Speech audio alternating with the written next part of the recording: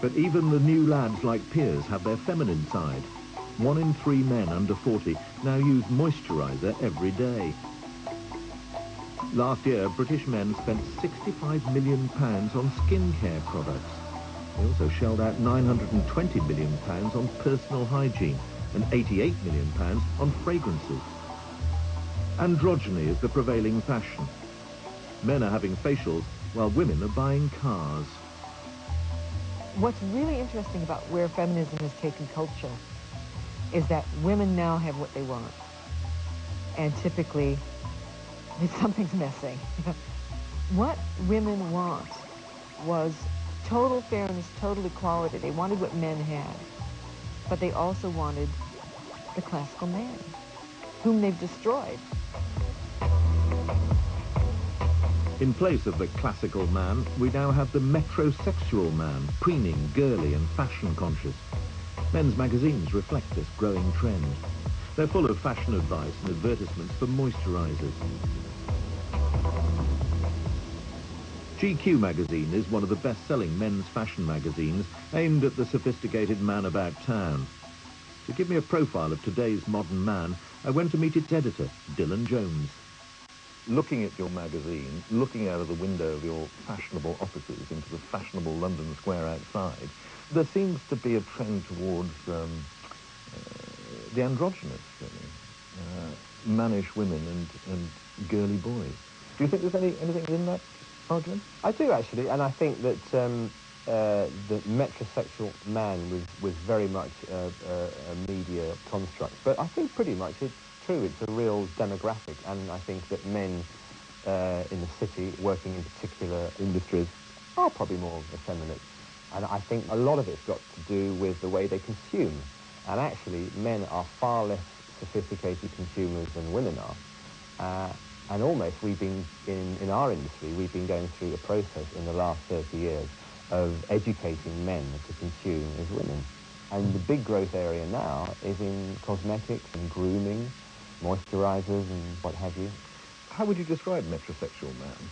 Um, a metrosexual man is a heterosexual man who has adopted various um, feminine traits. But as, but, but as I say, it's mainly about shopping. but What's driving it? I think that in this in the society we're in at the moment is that um, men make their marks in different ways, and it's no longer just about the job you do um, where you are in society. A lot of it's got to do with how you look, your behaviour, your attitudes, and I think that um, men need to define themselves in different ways, and I think that um, one way they are doing that is by consumption. It's still uh, tied in with status, but it's a different kind of status. Where does all this leave traditional male virtues? I think traditional male virtues are kind of floundering as, as traditional men are. Um, you know, as, as, as the safety net of society was pulled away in the 80s, lots of men didn't know what to do. That's why huge rise in violent crime and drugs, you know, they don't know what they're uh, meant to do anymore. Also, women have been encouraged to um, act like men. I mean, on a Friday night, you'll see women behaving in as a disreputable fashion as men once did, and still still do. I mean, that whole notion of um, female rad culture and the kind of loutish behaviour, I think, is almost being encouraged. In broad brushstrokes, women in society have much greater profile, um, more economic firepower, and, um, you know, they, um, they're taking over.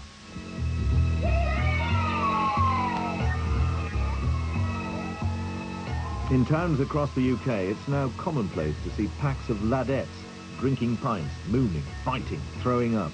In fact, behaving as badly, or even worse, than their male counterparts, the lager lags. This bucket represents what you drank last night. Just feel the weight of that. This is reconstituted what you drank. That's, that's ridiculous. This abrupt reversal of roles even extends to the mating game.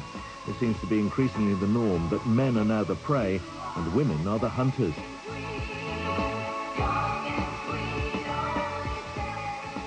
Women are much more predatory now. And they're predatory because they're sick of waiting for men to come and ask them out.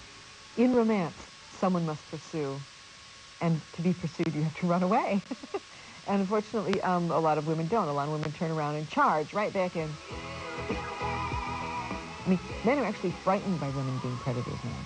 And you can't blame them. I mean, as a woman, I'm frightened.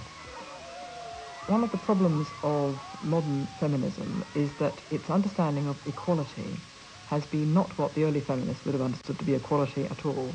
As a result, I'm afraid women have increasingly taken on the more louche characteristics of the caricature male behavior. So while girls acquire masculine qualities, men are being told if you don't cry and whine and hand out your feelings to anyone who'll stop and listen, there's something wrong with you. We live in an age that demands emotional access. I think television and the rest of the media are driving this feminization. I think maybe you do need a little bit more cleavage. Look at the way we have so many lifestyle programs aimed at female audiences at the expense of current affairs and documentaries. And at how men are continually portrayed in adverts, drama and sitcoms as ineffectual, clueless, idiotic. Look, I'm uh, calling a meeting at four this afternoon, a sort of brainstorming. What, on, on a Saturday? Yes, get your ass in here. I want to get cracking straight away. Martin Freeman's character Ed in the BBC series The Robinsons epitomizes the downtrodden modern man. In virtually every scene, we see him completely at the mercy of sassy, stronger women. Shall I lock the door? No. God, you really like living on the edge, don't you? Ed, I've had a meeting with Nigel. You are going to love this. I'm going to have to let you go. Huh? The feminization of the media is definitely reflected in our interest in opinion pieces rather than hard facts, in celebrity rather than something that actually has some substance. And I think we are suffering intellectually because of that. Newspapers, too, have become preoccupied with opinion and lifestyle at the expense of reporting. Emotion takes precedence over rationality.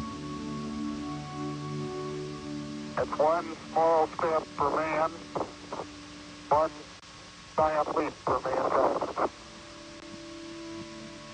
Heroes are a useful barometer of society. They used to be soldiers, Battle of Britain pilots, polar explorers, lions of empire. Now it's David Beckham. Wet, if not downright androgynous. I'm running out of hairstyles, I think, but uh, no, this one's just to keep my hair out of my eyes, so. The stars of today are more androgynous because they need to relate to both men and women. We want someone, you know, like Colin Farrell, perhaps, you know. He's slender, he can play bisexual roles, but he's a bit of a lad, so he really satisfies both camps. He's not particularly old school masculine though. He's not responsible, he's not married, and he doesn't care. So maybe that's the only role that masculinity has these days that we accept.